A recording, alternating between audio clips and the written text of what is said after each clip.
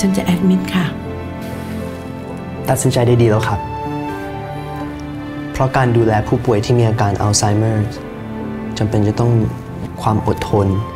และต้องการเวลาอย่างมาก ผู้ดูแลผู้ป่วยบางคน กลายเป็นซึมเศร้า เพราะไม่สามารถรับอารมณ์การเปลี่ยนแปลงของผู้ป่วยได้ คุณไม่ต้องเป็นห่วงเลยนะครับ พวกเราจะดูแลคุณแม่อย่างดีแน่นอน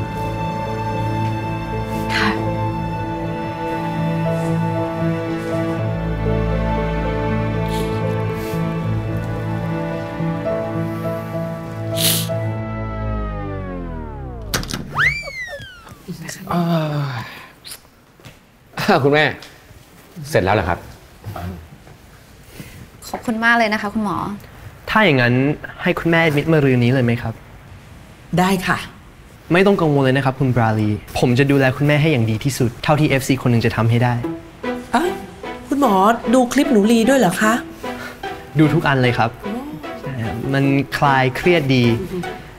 แล้วก็น่ารักมากเลยครับ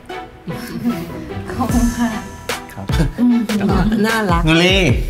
หนูลีจ้ะถ้าอย่างนั้นเราก็เสร็จเรียบร้อยใช่ไหมจ๊ะ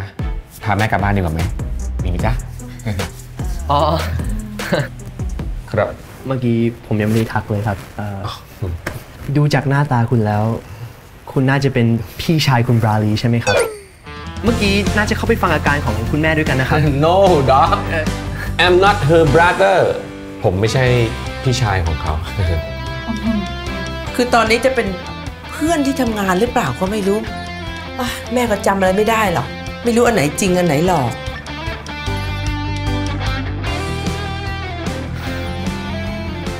ดีจังนะครับ ทีแรกนึกว่าเป็นแฟนคุณบราลีซะอีกถ้าอย่างนั้น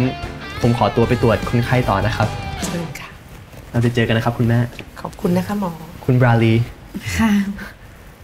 เพื่อนคุณบราลี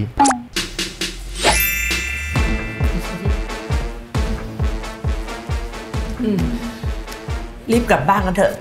แม่จะได้ไปจัดของ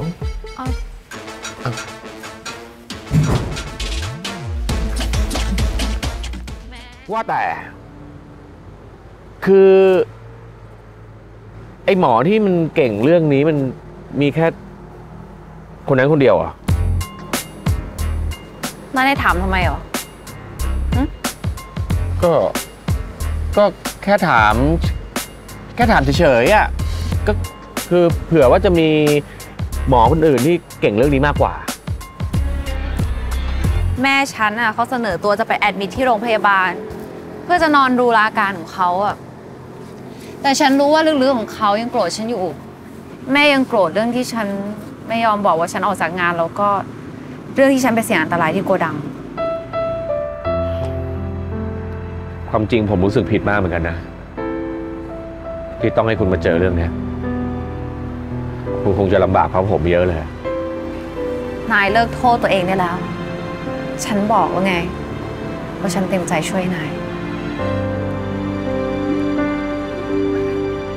บาลี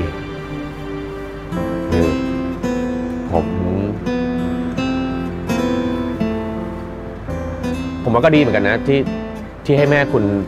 ได้ได้อยู่ใกล้คุณหมออะไรอย่างเงี้ยแล้วก็ผมว่าช่วงนี้แม่คุณก็คงอยากจะแบบอยู่ใกล้คุณด้วยคุณก็ควรจะอยู่ใกล้แม่คุณมากๆนะขอบคุณมากนะ ถ้างั้น เดี๋ยวผมกลับก่อนดีกว่านะ ถ้าคุณมีอะไรคุณก็โทรหาผมได้ตลอด หรือถ้าเกิดว่ามีอะไรฉุกเฉินจริง ๆ เนี่ย ก็ใช้ลิปกลอสที่ผมให้เอาไว้ เพราะว่ามันจะส่งสัญญาณถึงผมโดยตรงเลย รู้แล้วน่ะ ฉันเก็บไว้เป็นอย่างดีเลย ถ้างั้นผมไปก่อนนะ